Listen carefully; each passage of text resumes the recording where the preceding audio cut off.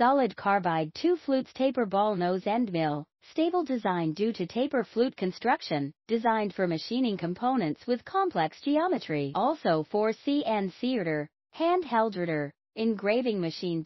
Carving hardwood, acrylic, MDF, carbon steel, mold steel, alloy steel, Inconel, stainless steel, titanium alloy etc.